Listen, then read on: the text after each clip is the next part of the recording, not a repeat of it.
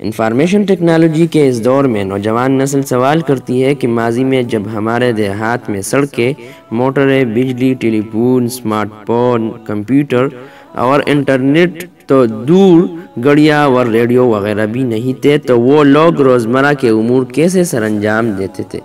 हम चंद पुराने वाक़ात की मदद से उन्हें बताने की कोशिश करते हैं कि वो अपने तजुर्बात की रोशनी में ज़िंदगी के मसाइल कैसे हल करते थे।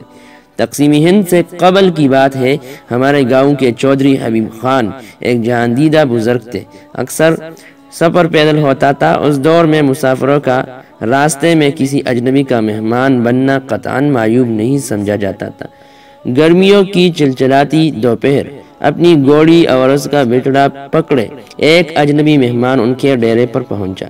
लसी के साथ लंच करने के बाद उसने आगे के सफ़र का इरादा किया। तो मेज़बान ने उसे नसीहत की कि ज़रा एहतियात करना, उस कच्चे रास्ते पर चार मील के फासले पर एक कुआँ है। तुम उससे पानी निकाल कर पियोगे तो घोड़ी का बच्चा कुएँ में गिर जाएगा।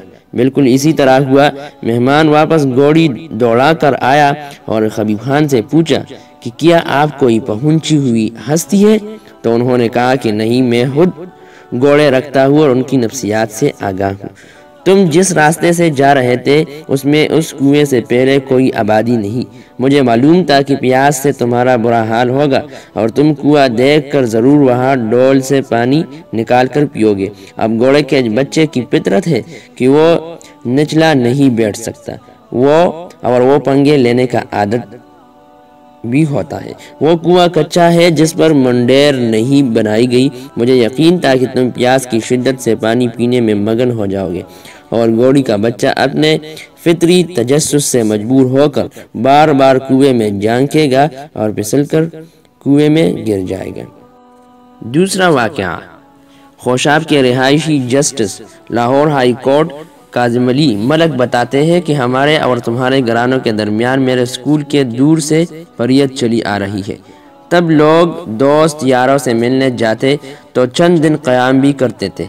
वो कहते हैं कि उन्नीस सौ सतावन में मेरे बड़े भाई कासिम अली हाद सबक तहसीलदार, चकवाल के तुम्हारे गाँव का लारिया बदल बदल कर दो दिन का दूर दराज का सफ़र करके तुम्हारे बड़ों, यानी अपने नौजवान दोस्तों से मिलने गए।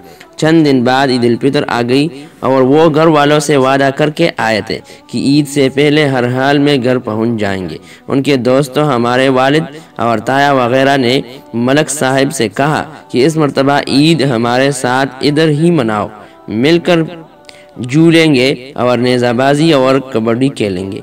मेहमान परेशान हो गए, मगर दोस्तों की मोहब्बत दीवार बनकर कड़ी हो गई।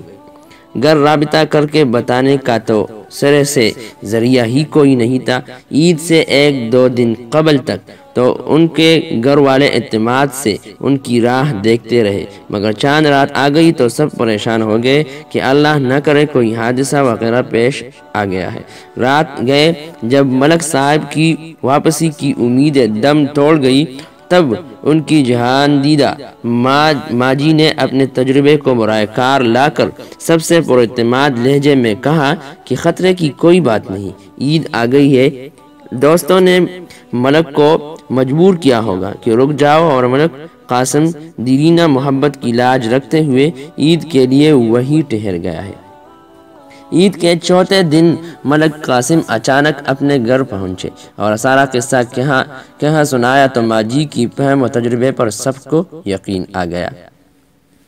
आज जदीद इंफॉर्मेशन टेक्नोलॉजी के तपील हमारे बच्चे लंदन से चलते हैं तो हमें पल पल की खबर होती है कि वो उस वक्त कहाँ पहुँचे हैं? जबकि माजी में जब उनका कोई बुज़ुर्ग दूर दराज या नज़दीक के सफ़र पर हफ़्ता या महीना भर के लिए रवाना होता था तो उसके वापस आने तक किसी को उसके बारे में और उसे अपने घर वालों के बारे में कुछ खबर नहीं होती थी कि कौन ज़िंदा है और कौन दुनिया से गुजर गया। नाख्वानदगी गुरबत और वसाइल की कमी अपनी जगह मगर गाड़ियों जहाज़ों मशीनों और लाउड स्पीकरों का बेहंगम शोर ना होने की वजह से आलूदगी भी नहीं होती और पेजाबी साफ़ और खामोश थी। उनका सफ़र और मिलना बहुत कम लोगों से होता था। सो जो आवाज़ वो सुन लेते, उनके जहन पर नक्श हो जाती। ऊपर से ख्वाहिशात और ज़रूरतें महदूद हो। ज़िंदगी में पैसे का अमल दखल बरए नाम हो तो मसाइल कम होते हैं और ज़िंदगी आसान हो जाती है। उन लोगों के पास अपने मसाइल हल करने के लिए, अपने तजुर्बात से फ़ायदा उठाने के अलावा कोई रास्ता नहीं था। लिहाजा ज़रूरता उनके खवास खमसा तेज थे। वो रातों में रास्ते भी तलाश कर लेते थे और अंधेरे में दूर जाते आदमी को भी पहचान लेते थे। हमारे अस्सी साल चचा मेहदी खान कहते हैं कि उस वक्त वसाइल नहीं थे मगर सुकून बहुत था। अब सहूलतें तो बहुत हैं मगर सुकून नहीं।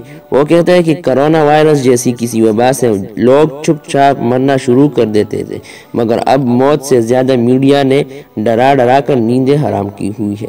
दूसरा वो खुश नसीब उस नमत से भी बहरामंद थे कि कोई रवियत हलाल कमेटी नहीं थी। सो, अगर मगरब के बाद चाँद नज़र आ जाता तो वो लोग अपने महदूद वसाइल में रहकर खुशियों बड़ी भरपूर ईद मनाते थे।